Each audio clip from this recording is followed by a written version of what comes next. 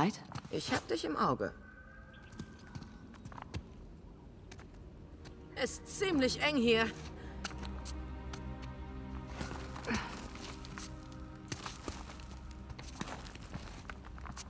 Oh, hallo. Was für eine hübsche Stadt.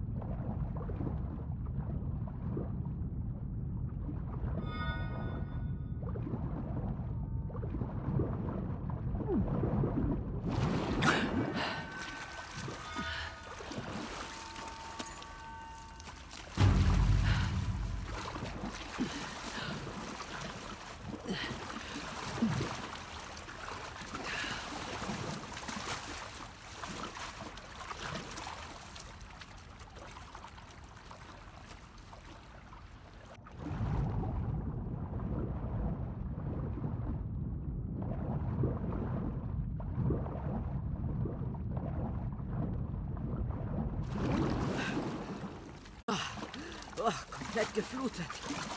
Hier ist ein Durchgang. Sehr gut.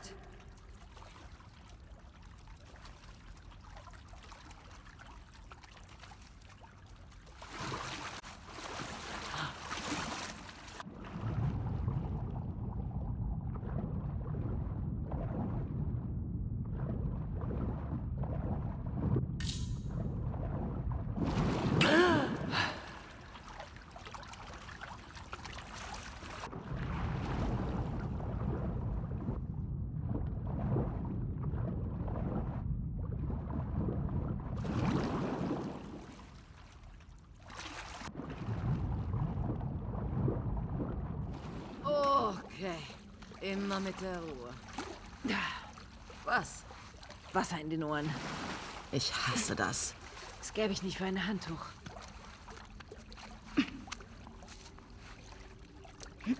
Mein Gott. Siehst du das? Weißt du, im Moment fehlen mir die Worte. Ach du heilige Scheiße. Das trifft's.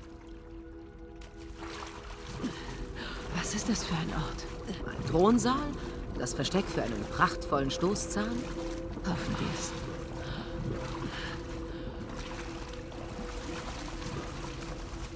Da gehen Treppen hoch. Sind aber ziemlich kaputt. Suchen wir einen anderen Weg nach oben. Shit, mir fällt gerade was auf. Ich glaube, ich weiß, was es ist. Dass wir die Scheibe bald brauchen? Ganz genau. Tja, dann müssen wir wohl Asaf finden. Oder er findet uns.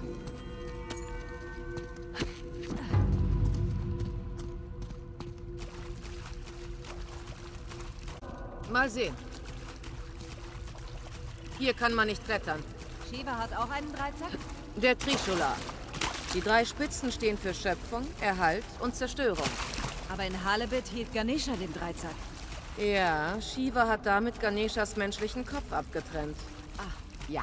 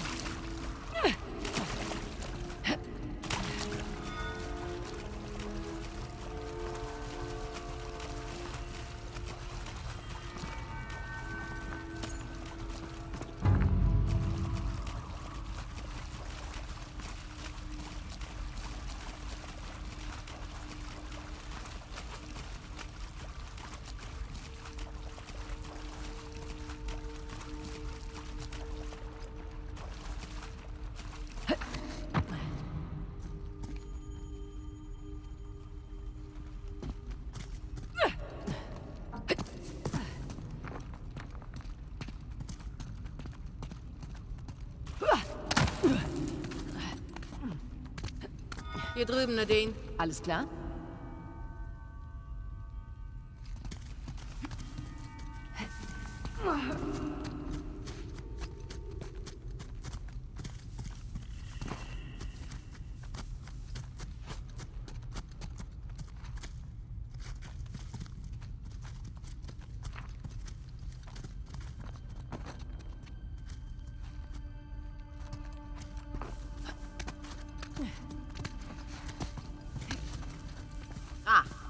Besser aus. Ich sehe noch mehr Kurbeln hier in der Kammer.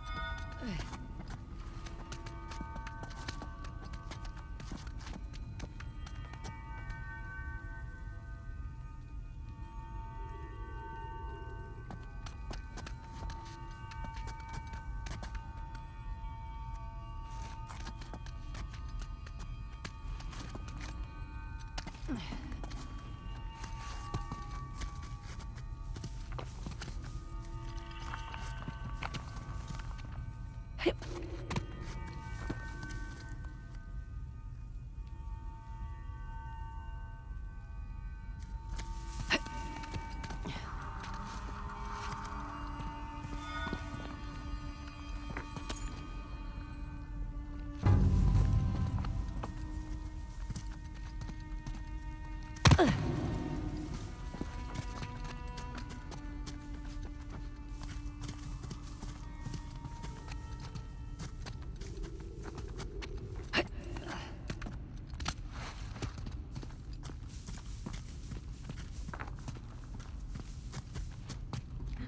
Ich drehe hier mal dran.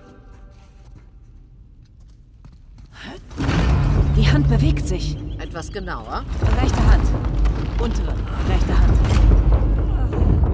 Vielleicht liegt es an der Größe der Statue, aber mir fällt jetzt erst die Königskobra um Shivas Hals auf.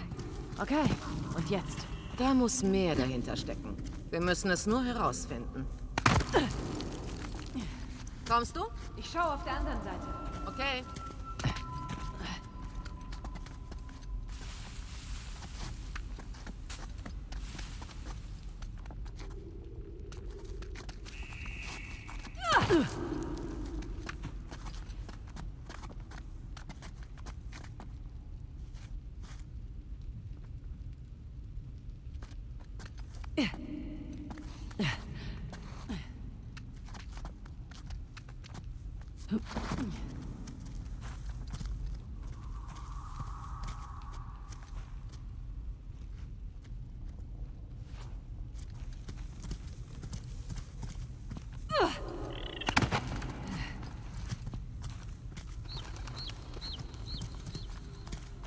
Ah, da vorne ist noch eine Kurbel.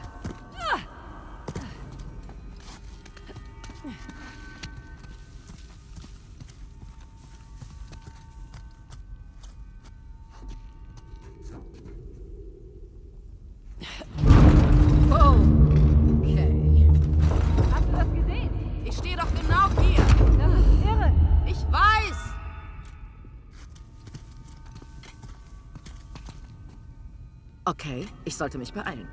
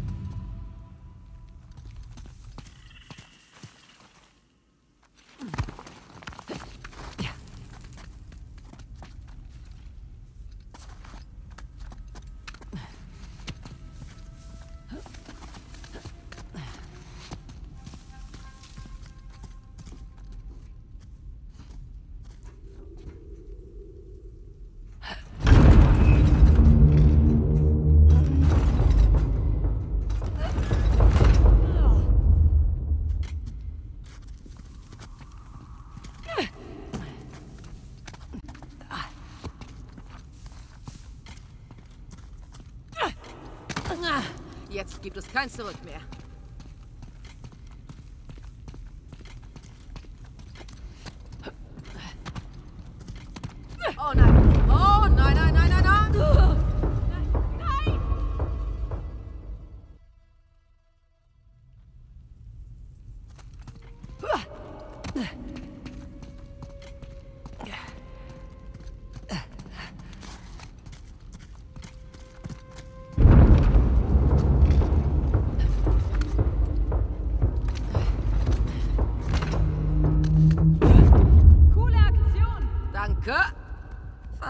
meine Hose zerstört.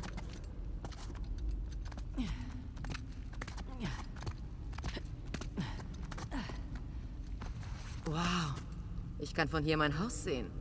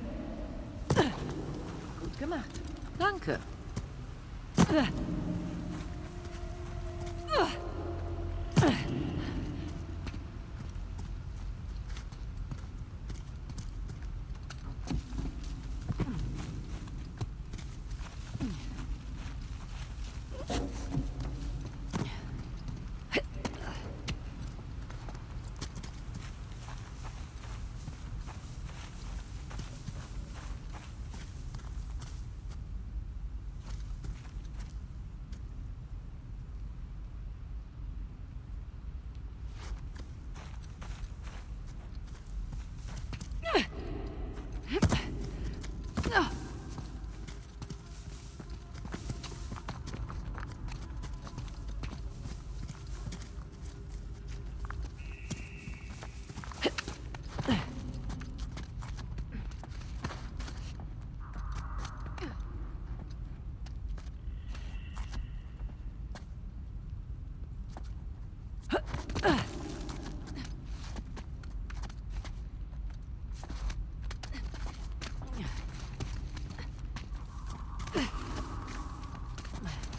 Aha, dann mal los.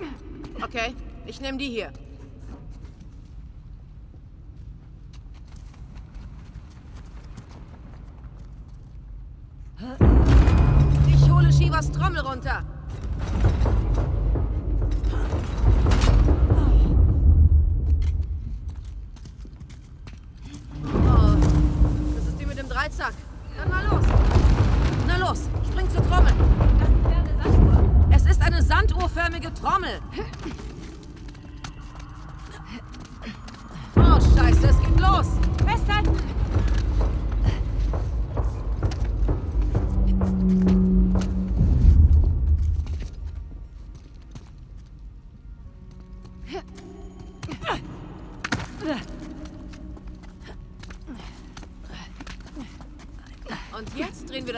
Dieser Seite auf. Alles klar.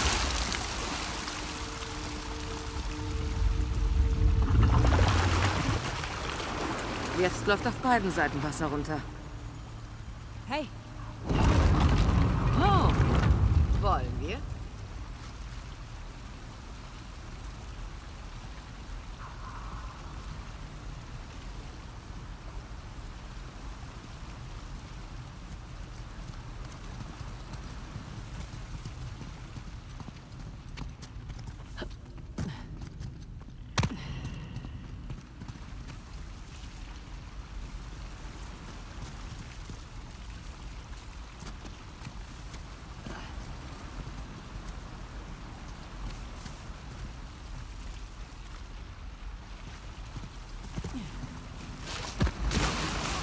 Wow, hey, was machst du da? das war aus Versehen. Ich bin gleich wieder da.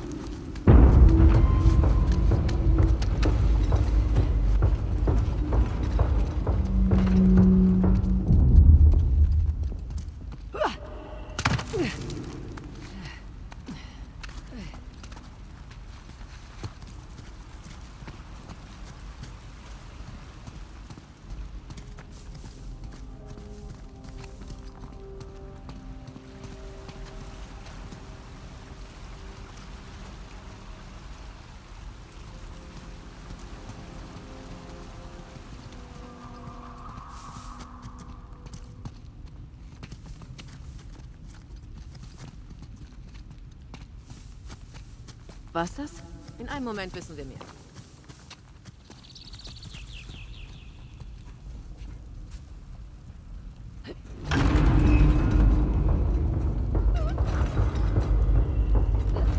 Das klingt doch gut.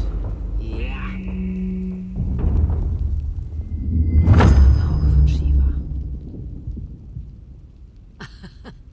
Das Licht scheint genau auf diese Statue dort drüben.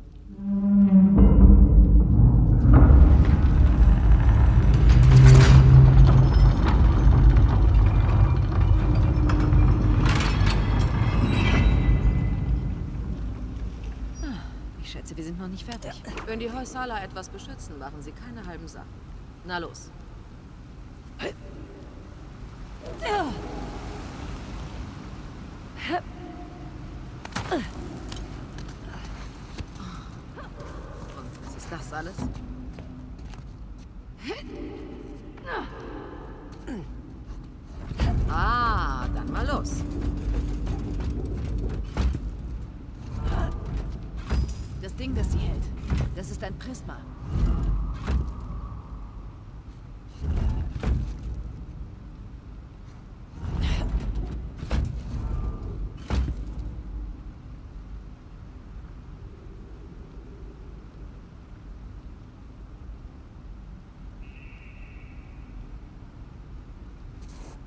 Sieht gut aus. Ja, jetzt kümmern wir uns um die anderen beiden.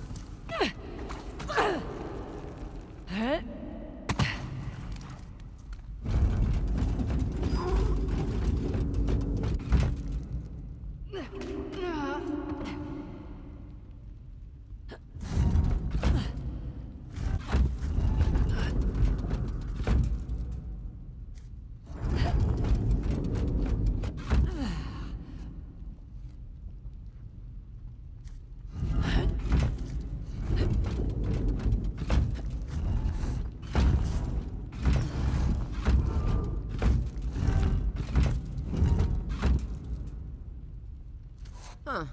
Licht trifft die Statue, aber nichts passiert.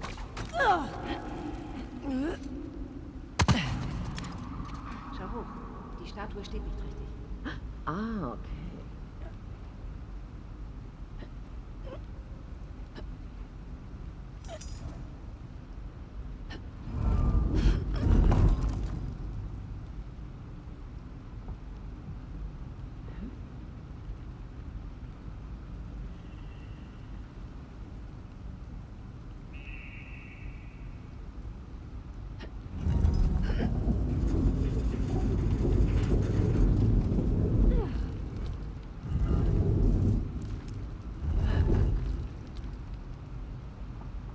Nadine, bist du so nett? Sind wir weit voraus?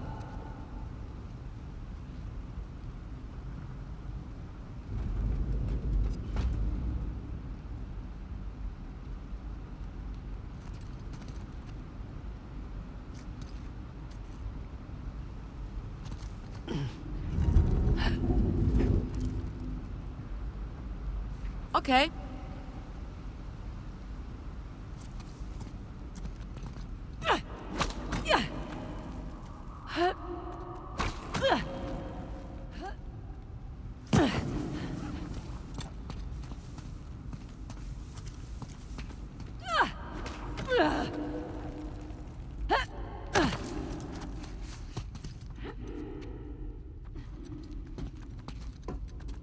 Schöne Scheiße. Die hier ist kaputt. Lass mal sehen.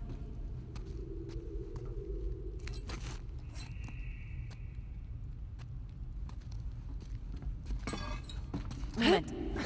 Hast du das?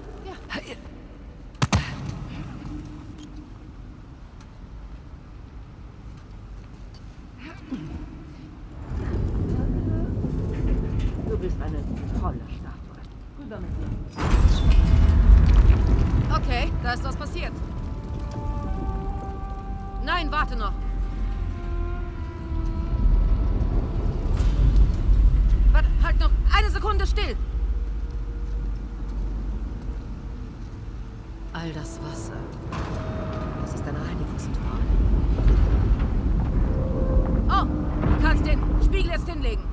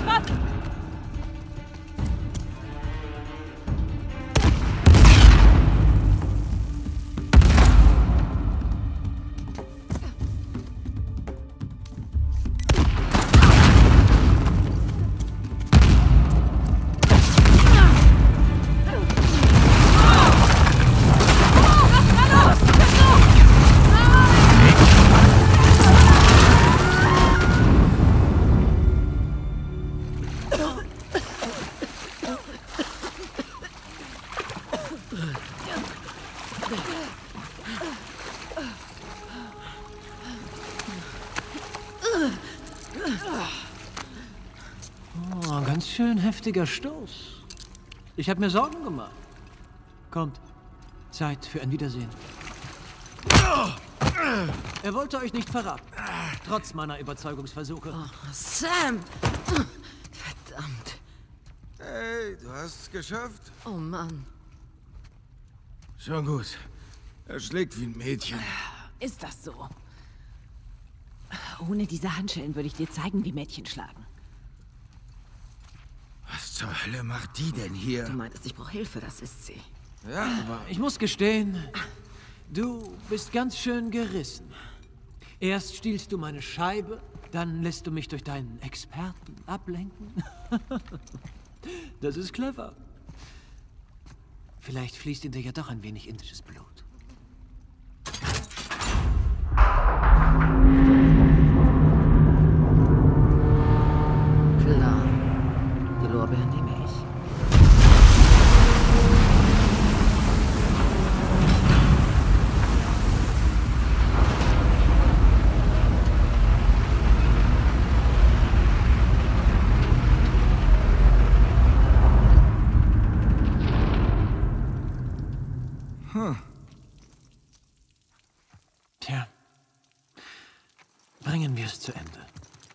Okay, okay.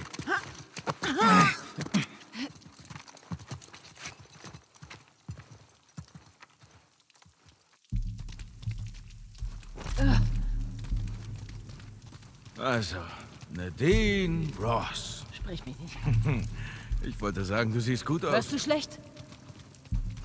Was, was stinkt hier so? Oh, tut mir leid. Fließendes Wasser und Seife waren in der letzten Zeit eher Mangelware. Von all den Leuten, die du hättest herbringen können. Sie hat mir mehr als einmal den Arsch gerettet. Du weißt aber noch, dass sie versucht hat, Nathan und mich umzubringen. Und zwar mehr als einmal. Bleiben wir fair. Hab dasselbe mit ihr versucht. Äh, ja, aber das, das ist nicht der Punkt. Der Punkt ist, sobald wir ihr den Rücken zudrehen, haben wir ein Messer drin. Ich kann übrigens jedes Wort hören. Ich weiß. Ich vertraue ihr. Weißt, weißt du was? Schön. Ich bin nur ein kleines bisschen sauer, dass wir hier mit leeren Händen rausmarschieren. Aber damit kennst du dich aus, stimmt's? Oh Mann. Das hat klasse, danke. Alles zu seiner Zeit, Kinder. Kannst gern noch mehr haben. Fahrradständer nach der Schule. Beeil dich!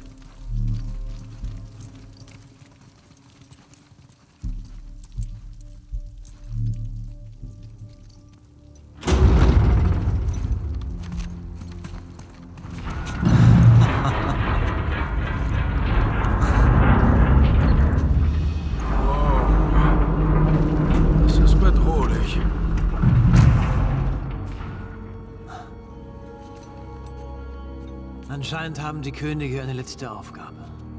Aber uns brauchst du wohl nicht mehr, also machen wir uns Oh, mal im auf. Gegenteil. Du kennst diese Geschichte. also, Shiva gab Parashurama die mächtige Axt, die Ganesha im Gesicht traf, wodurch Shivas Sohn, einer der größten unter den Göttern, in die Knie gezwungen wurde. Ein weiteres Tu's nicht. Ja, genau, Chloe. Er wird dich einfach umbringen. Er hat recht. Aber wenn du dich weigerst, siehst du sie sterben. Stück für Stück. Okay.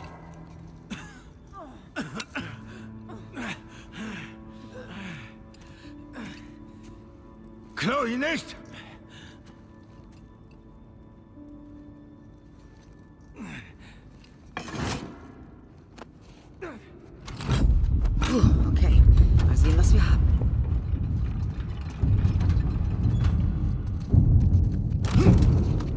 Mach keinen Blödsinn. Genug. Feigling.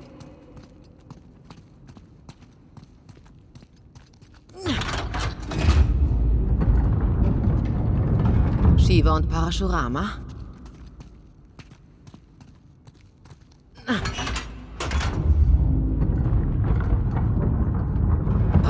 und Ganesha. Und jetzt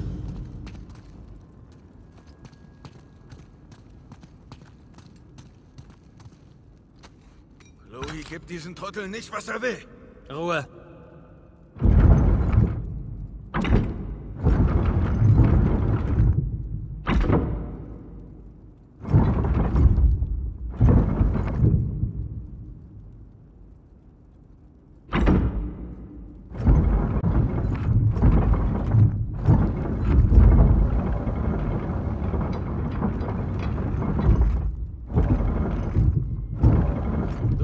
Meine Geduld auf die Probe.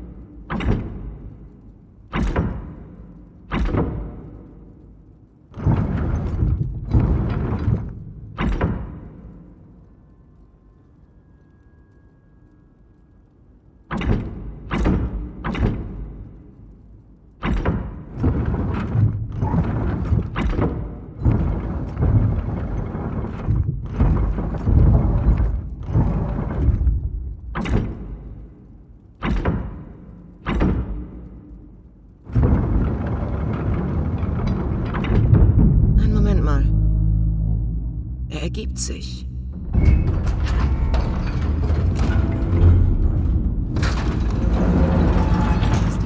Sie wird gleich fallen. Ruhe!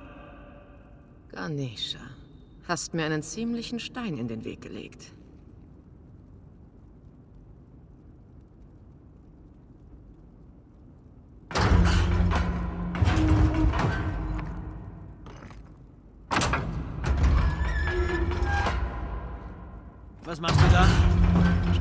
Still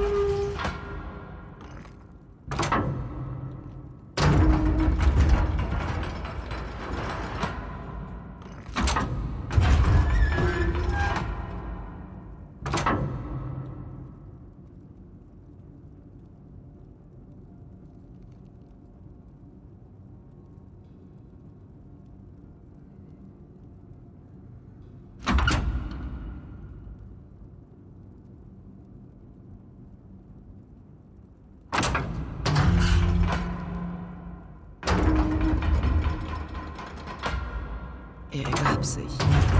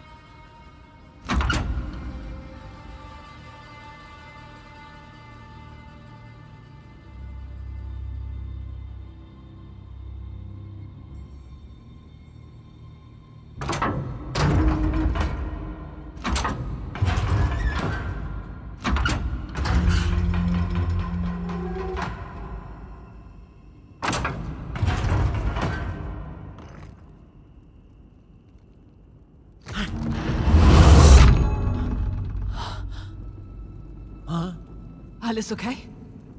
Ja. Das kam unerwartet. Ach du Scheiße, sie hat Eier, was? Ah, ich, ich verstehe nicht. Das ist eine Redewendung. Weil du dich geirrt hast, Freundchen. Ganesha hat sich bewusst von der Axt treffen lassen.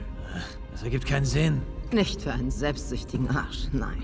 Es ist so, Ganesha hätte Parashurama besiegen können. Ganz leicht. Aber in diesem Fall hätte Shivas Axt ziemlich schwach gewirkt. Machtlos. Ganesha opferte sich, um die Ehre seines Vaters zu bewahren. Tja, sogar sie versteht's und sie hat keinen Tropfen indisches Blut.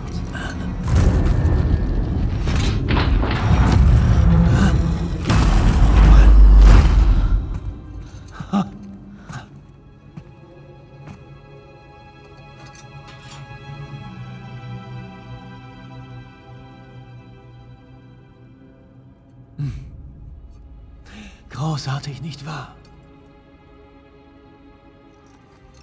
Was, hast du mir nichts mehr zu sagen? Ich kann dir sagen, wo du ihn dir hinstecken kannst. Tja, meine Freunde. Ich würde euch gerne selbst töten, aber wir dürfen die Götter nicht verärgern. Denn ihr habt mir großes Glück gebracht.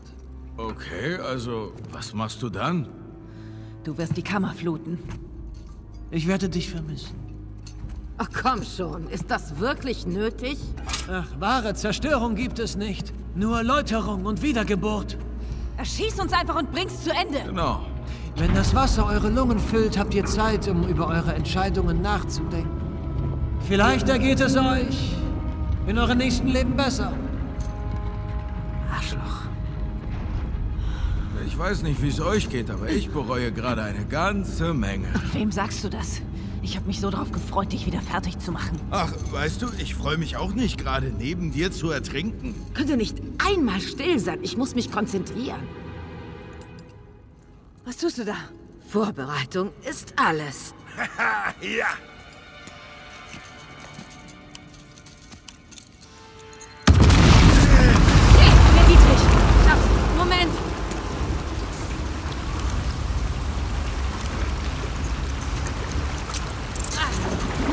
Jetzt ich.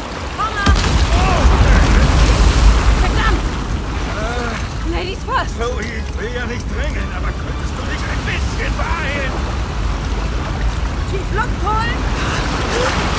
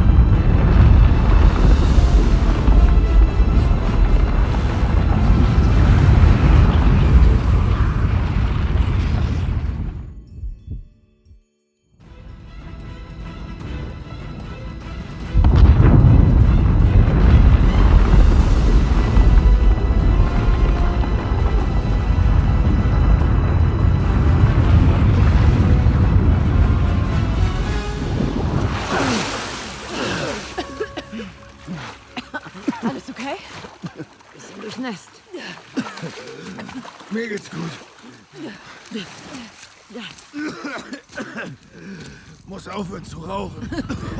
Runter! Hat er uns gesehen? Ich hoffe nicht. Wie zum Teufel hat Asaf den Helikopter bekommen? Vielleicht von den Käufern. Was meinst du? Hab nur Asaf drüber reden gehört. Zum alten Bahnhof zu fahren, irgendein Waffenhandel. Er verkauft den Stoßzahn. So viel zur Bewahrung seiner Kultur. Hey, einen Moment. Hör mal. Danke für. Bild dir nichts drauf ein. Natürlich. Sind wir cool? Nein. Dachte ich mir. Beeilen wir uns. Dann können wir sie abfangen, bevor sie ihn verkaufen. Ha. Und da ist unser Wagen.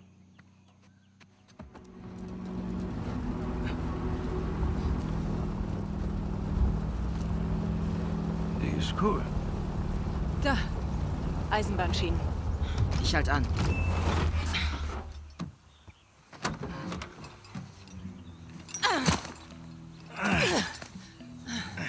Asaf hat ganz bestimmt Wachen in diesem Gebiet. Wir sind besser vorsichtig. Ja, ja, ja.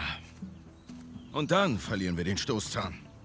Du kannst gern hier bleiben. Ich meine ja nur, Okay, dass okay, wir... okay, okay. Weniger reden, mehr laufen. Und du warst die ganze Zeit bei Asaf und hast nichts über die Käufer rausgefunden.